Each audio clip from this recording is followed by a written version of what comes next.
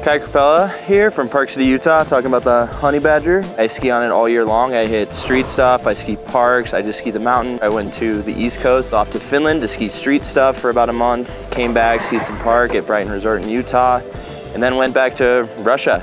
Everything in the ski holds up for anything I put it up against. Biggest reason I like it is because it is just an incredibly light and fun ski.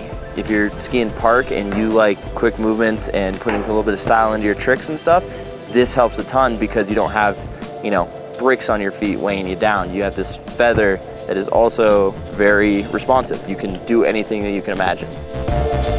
Toss it at rails, you can toss it at ice, doesn't matter, it's gonna take it.